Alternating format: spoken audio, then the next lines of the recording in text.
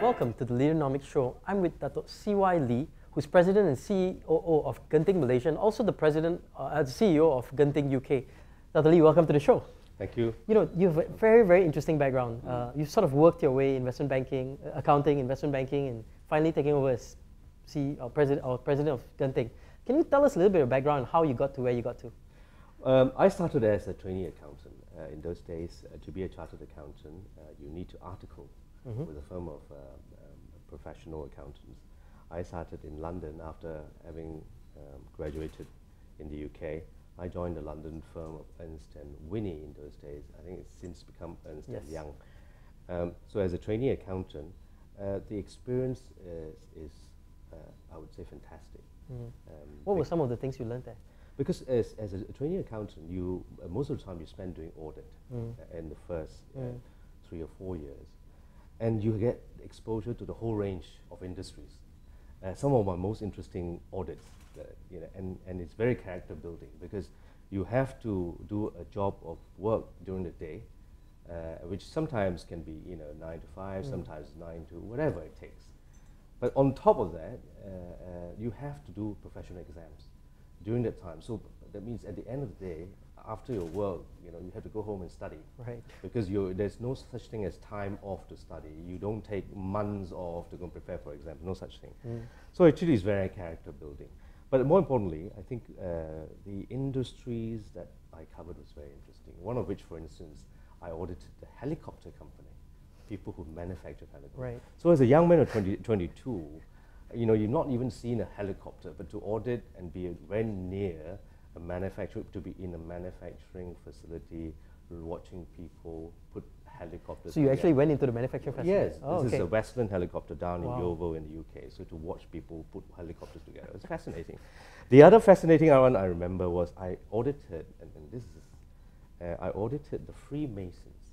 Okay the Freemasons. Wow. I mean, people know it's a very secretive society, so I can't they, they, allow, they allow themselves they to be audited. themselves to be audited. So, so, so, it's not so secretive after all. No, but what I what I enjoyed most about that people audit, I don't think they do things very differently from any other mm. charitable organizations. They invest their money and all that mm-hmm. sort of mm-hmm. thing. But what was, what was interesting is I was uh, I had this honor of being shown around a temple. They call it the wow. temple. Okay, okay. Uh, which is right in the center of London, in a in a very uh, if you didn't know any better, you think it's an office building mm. uh, right in the center of London, but inside is a huge cavernous auditorium. Uh, that's what they call the temple. So that was a very interesting. So you know all the deep dark secrets of uh, Freemason. I'm not sure about the. I don't. I'm not sure about the secrets whether there are any secrets, but you know, like I said, they didn't do things very differently. Mm. Uh, certainly from the financial point of view, anyway. So. So you, you you did a couple of years of audit and. no, I think in in those days you need to do three four years, depending on how you progress with exams. You have to you have to pass two professional exams. Mm. Uh, and the most important thing about you know the profession is that you know uh, you uh, like I said, it's very character building in the sense that you need to uh, work during the day and you you have you have to study uh, in the evening and to do two sets of professional right. exams.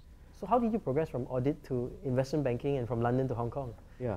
I, I did, uh, after, after Ernst & Young, uh, I decided to travel. Uh, I was on the way back to Malaysia, mm. Uh, on the way back to Malaysia, and I decided to stop over in Hong Kong. Uh, what turned out to be like, you know, a month just to, you know, spend some time with the friends, ended up as eight years in Hong Kong. Okay. Uh, first of all, I decided to join Ernst & Young in Hong Kong. after having spent, you know, a couple of weeks there, I decided that that was the place I, I thought I, I would enjoy. And, and, and, you know, I thought maybe spend some time in Hong Kong and then return to Malaysia. Like I said, you know, a few weeks turned into uh, months, know, and years. months, and then it was eight years. I started off at Ernst & Young, enjoyed my career there. Again, tremendous experience in the early, mm. late 80s and You were still 90s. doing auditing work? I was doing, doing auditing work. But Hong Kong is a diff different kettle of fish. Mm. Hong Kong gave people experience very early on. You know, you're given, very young, you're just given lots of experience. Mm. So you're running huge jobs on your own. You are uh, leading a teams and, and you are signing off, you're given authority, you know, mm-hmm. you, you're given responsibility, which is fantastic mm-hmm. because it mm-hmm. prepares you for life uh, later on. From there, I, I decided that, you know, um, and I had exposure to investment banking as, a, as, a, as an accountant. I, you know, we dealt with professionals like investment banks yep. and all that sort of thing. And I thought that was interesting, so I decided to go into investment bank. So I The cutthroat, the, the the cutthroat, cutthroat world. world of investment bank. And again, you know, it was an exciting time in the early 90s in Hong Kong.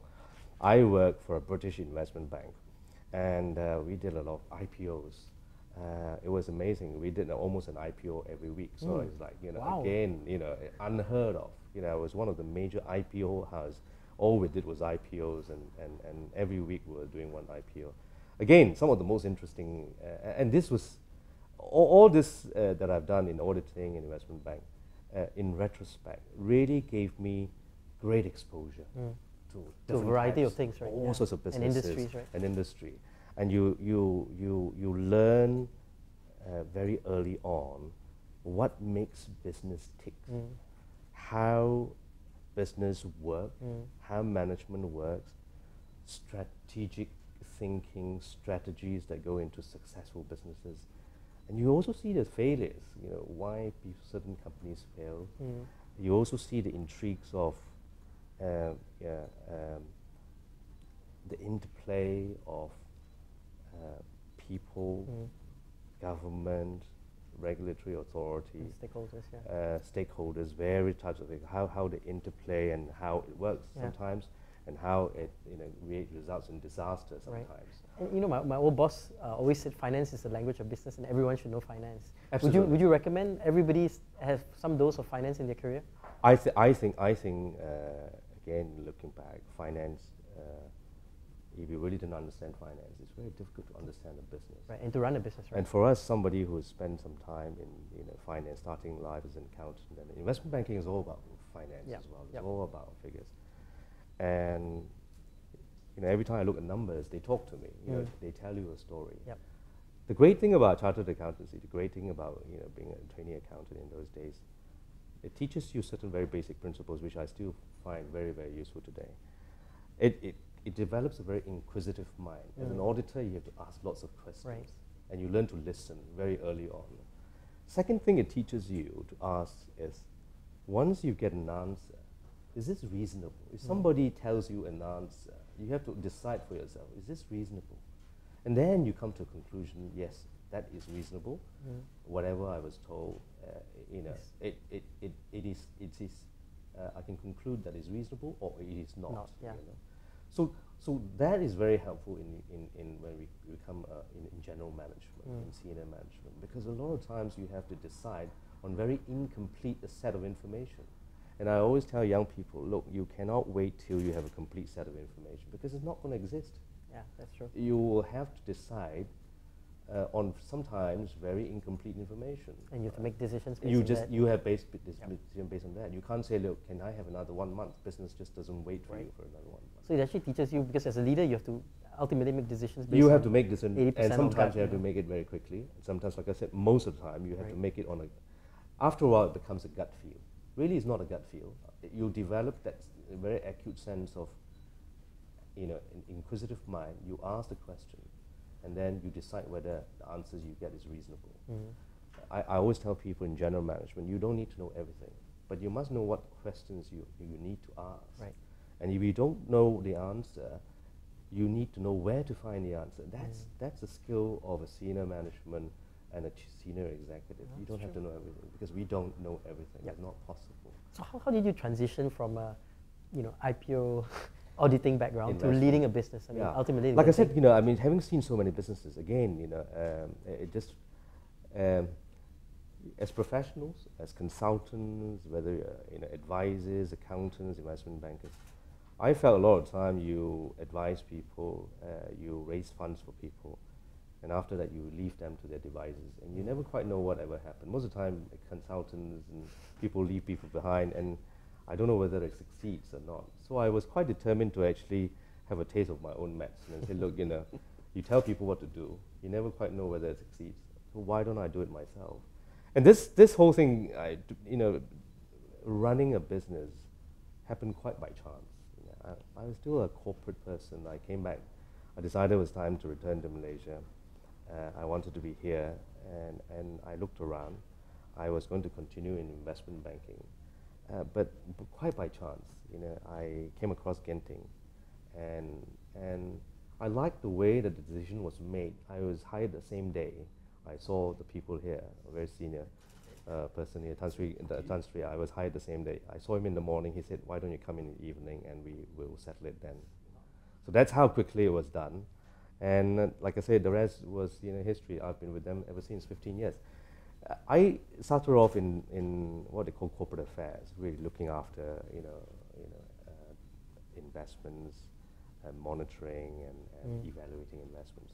Came the crisis in 98 and, and I was told, look, there's not much investments going on. Why don't you take a look at High Genting Highlands and see if, if there's anything you want to do? So I took a look at it and um, I spent, I decided, yes, I'll take on the challenge of running you know, looking, no, no, no, not running it then. I say I'll take a challenge of helping out. Okay. In, in, and so I took a position of planning. Okay. In those days, it was a position created uh, for me.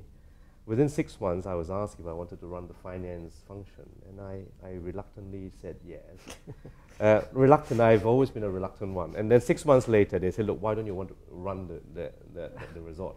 Again, I was very, very um, cautious, but you know, I'm a great believer if you're asked, mm-hmm. you know, uh, and an opportunity and, arises. No opportunity arose. I didn't go looking for it. Uh, sometimes life is like that. You mm. don't really have to look for it because uh, if you have demonstrated an ability, I think sometimes you may be yep. asked to do things. And I was asked and I, was, I, I, obliged and I've been doing it for the last 12, 13 years. And, so what's your biggest challenge now in leading this business? I think we, uh, we are going through a very exciting phase of our development as a company. Uh, we are going very global. Uh, just in the last three or four years from managing Genting Highlands, I've had to transition uh, managing international assets. We bought uh, UK casinos. You mm-hmm. there are 45 casinos in the UK, so I have to you know run that as a CEO now. Um, we also open up a Racino in, in New York. Yeah, yep. Again, um, it's um, it's a you know it's a large large business uh, in New York, 5,000 slot machines, um, and which will you know again put us on an expansionary yep. path. Mm. Uh, again, it's a very exciting time for me personally right. because there are two sets of different assets. More importantly, the people are mm. very different. A UK culture uh, and a US culture. Again, having to manage two groups of people right. in a different cultural setting, different environment, different culture, different people. Mm. To me, it's it's very exciting. Yeah. You know, dealing with people every day is very exciting. And I would say that's the most difficult part of any management job, uh, people. Mm. Uh, there's no one size fits all type of you know management situation. Right. Every person is different.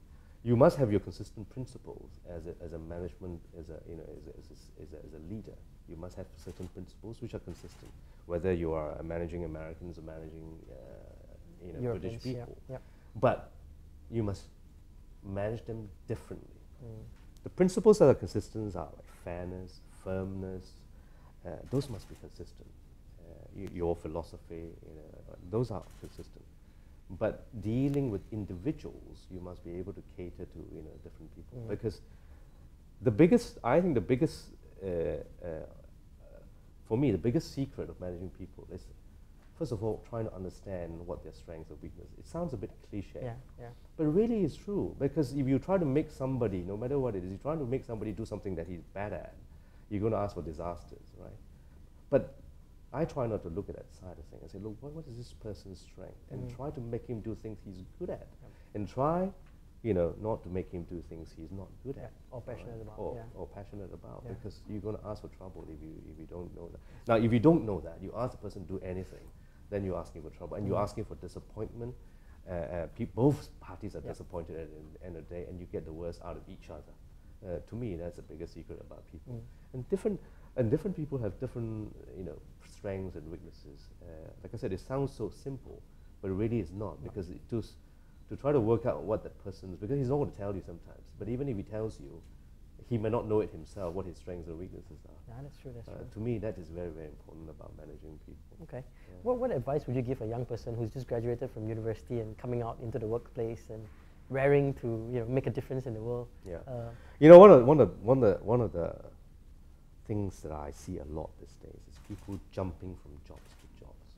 And when I see a CV like that, I really have a lot of reservation because uh, I'm a bit old-fashioned like that. Maybe the world is changing, you know, the cyber world and internet world, things are different. But I still believe strongly you must be in a job for a certain amount of time to really be on a, the learning curve, to really To up, maximize you know, that, to yeah. maximize Yeah. that. Because if you are jumping jobs every two years, you know, it takes you about a year to know your boss or your subordinates, and another one, another half years to work your way around the system, the Mm, process. the cultures. yeah. How can how can you ever pick up anything? You know, I mean, my own experience, I've resisted, and I think quite rightly. You know, the lure of just money. A lot of people just switch job for just that extra little bit. But I think you got to find something you really like, and Mm. you've got to be passionate about, something you think you can excel, right? And again, this is, sounds cliche, but there's no substitute for hard work. Mm. There really is. I've not met anybody who's successful and who's lazy. I've never. No matter how brilliant you are. Sure, these days there are a lot of young billionaires and all that, so they look as if they made it, you know, so Yeah. easily. I, mean, I can But they guarantee you, hard, they work hard, even though they're very young, and they will continue to work hard because that's what drives them. Mm. I've never seen any people who are successful and not work hard and be driven. Mm. Not really. Never. Okay. Yeah. Many, many young people want to become CEOs. Yeah. You know, they aspire to one day become like you and, Mm. and, and the other leaders. Um, is there something that they should be looking for? I mean, what advice would you give someone who's wanting to become a CEO? I think I think I think it's a very honourable aspiration, um, and I'm a genuine believer that uh, leaders are not born, not born. Yep. Leaders can acquire the, The skill the set. skill set, the qualities, but of course they have to work at it.